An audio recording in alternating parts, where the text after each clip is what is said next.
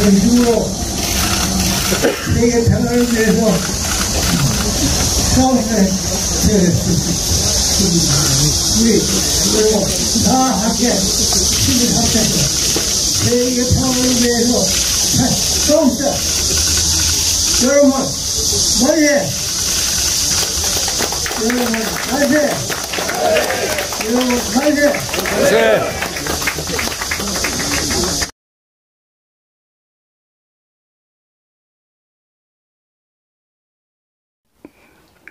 조갑제 TV 시청자 여러분 안녕하십니까? 2023년 11월 2일 새벽 1시 44분입니다.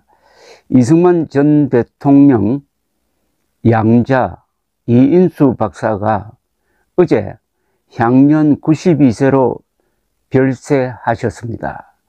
이승만 건국 대통령 기념사업회는 어제 이승만 전 대통령의 아드님이신 이인수 박사가 오후 6시 53분 서울 종로구 서울대학교 병원에서 영면하셨다면서 61년 동안 한결같이 아버님 선장에 진력하셨다고 밝혔습니다. 이인수 박사의 빈소는 서울 신촌 세브란스 병원 장례식장에 마련되었습니다.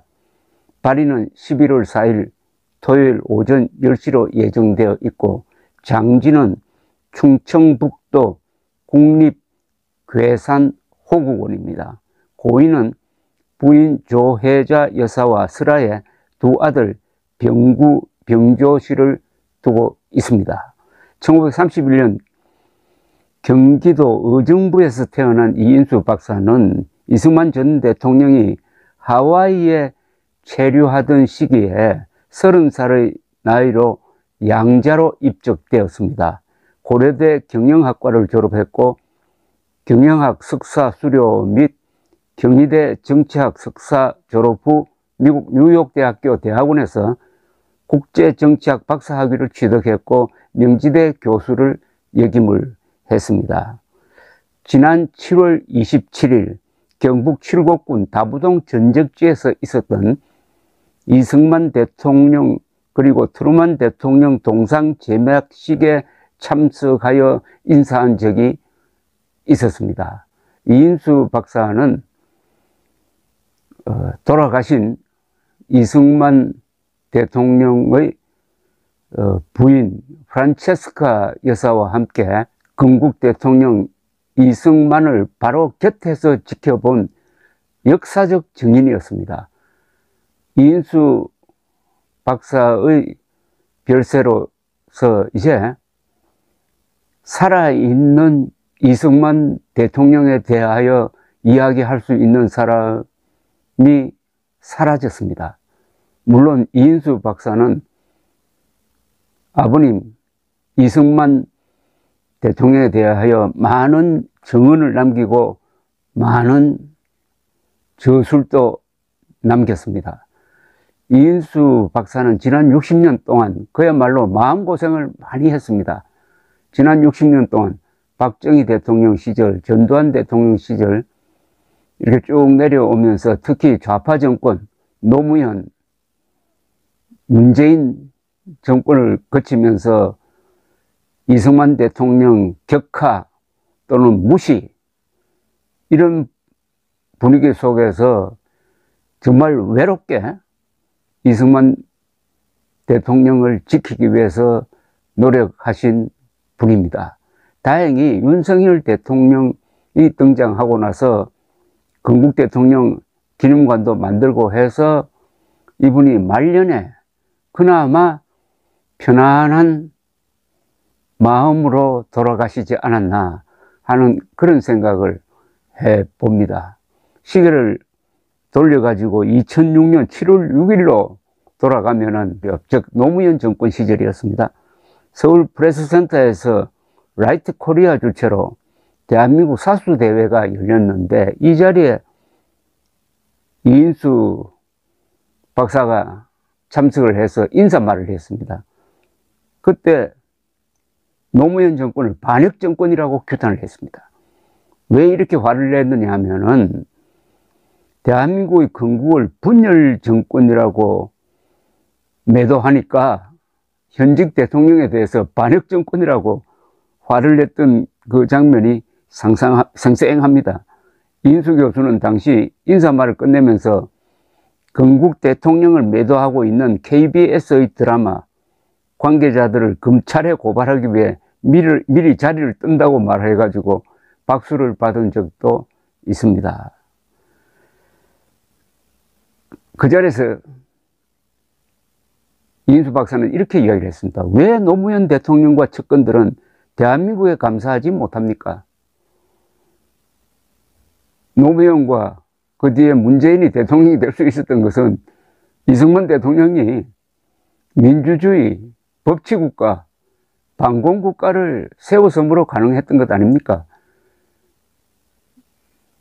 이승만 박사가 판 우물물을 맛있게 먹으면서 그 우물물에 침을 뱉었던 자들에 대한 울분을 품고 그야말로 외롭게 투쟁해왔지만은 그래도 이런 이인수 박사를 돕는 분들이 많았고 이인수 박사는 또 이승만 박사의 유품, 자료를 잘 보관하고 있다가 그것을 또 연구기관에 기증하고 해가지고 이승만 박사에 대해서 우리가 잊지 않도록 하는 그런 매개 역할도 했습니다. 제가 기억하기로는 이, 어, 여러 자료가 많은데 특히 기억나는 게 있습니다. 김구 유엄한 대화 비망록을 가지고 있다가 이걸 공개한 적이 있습니다.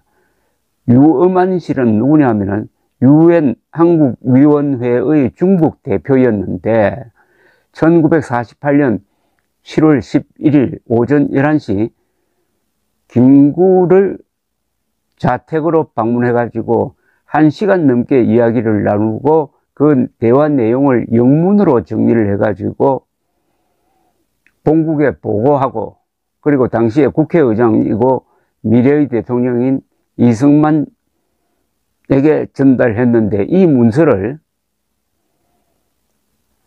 이인수 박사가 보관을 하고 있다가 연구 목적으로 공개한 적이 있습니다. 이 영문으로 된 건데 제가 번역을 해가지고 이걸 올렸더니 어, 이승만 그리고 한국 현대사 연구의 중요한 자료로 지금 인용되고 있습니다. 이 대화록은 조갑제닷컴에 제가 올려놓았으니까 흥미를 가지시는 분들은 참고를 하시기 바랍니다. 이 대화록은 매우 중요합니다. 이 대화록을 연구한 이인수 박사는 이런 평을 남겼습니다.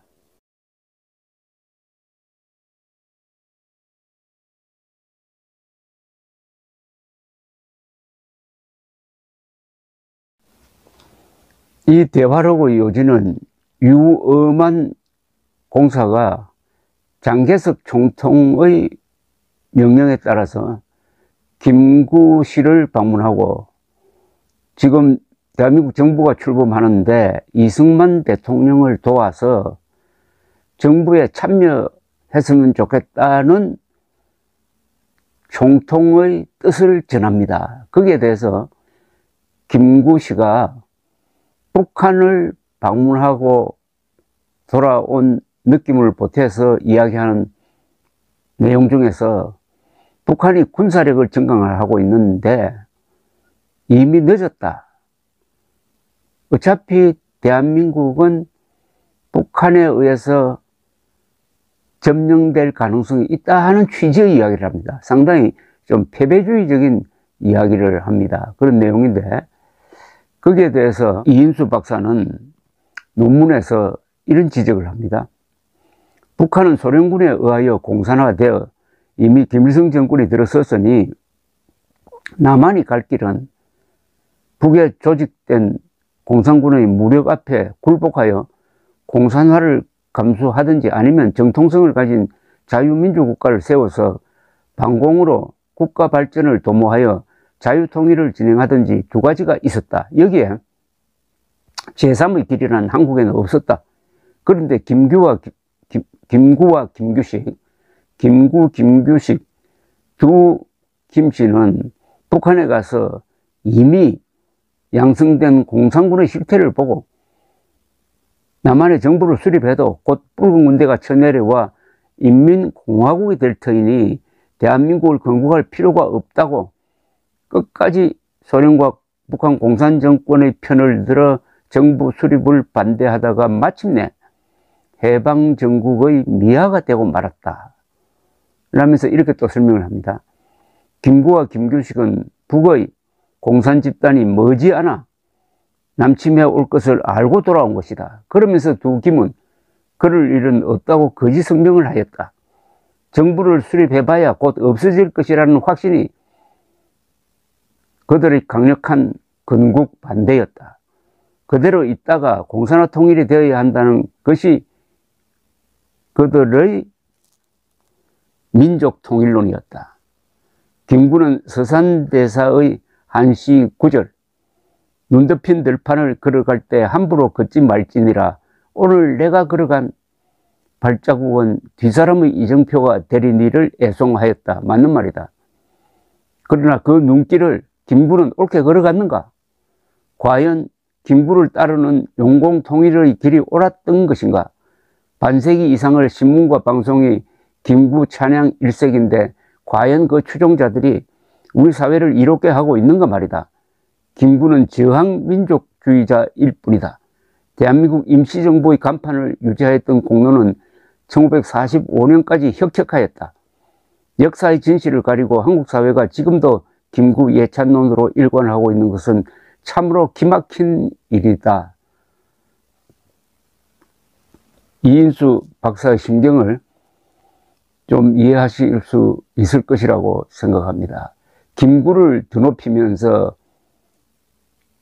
김구를 통해서 이승만을 짓밟고 있는 이런 세태 속에서 이인수 박사가 얼마나 고심하면서 울분을 가슴에 품고 살아왔는지 저는 자주 만날 기회가 있어가지고 너무나 어, 생생하게 기억합니다. 4년 전에 이인수 박사와 인터뷰를 했습니다. 이인수 박사가 기억하는 이승만, 하와이에 있었던 말년의 이승만은 어떤 모습이었느냐. 그 중에 하나 생각나는 게 있습니다. 이승만 박사는 하와이에 계시면서도 항상 조국을 걱정하고 있었다고 합니다. 그러면서 툭 던진 말이 한국인은 자유를 주면은 잘해 라고 하더랍니다. 한국인에게는 자유만 주면은 재주를 발휘할 수 있다. 한국인은 워낙 능력이 뛰어나니까 자유를 주면 된다. 그게 바로 이승만 박사의 소신이었고, 그게 가장 위대한 예언이 된 거죠. 이승만의 생애는 한국인에게 자유를 주는 것이었습니다. 그리고 그 자유를 받은 한국인이 다시는 종의 멍에를 메어서는 안 된다. 는 것을 강조한 그 이승만 대통령의 아드님 이인수 선생의 별세, 삼가 고인의 명복을 비는 바입니다. 감사합니다.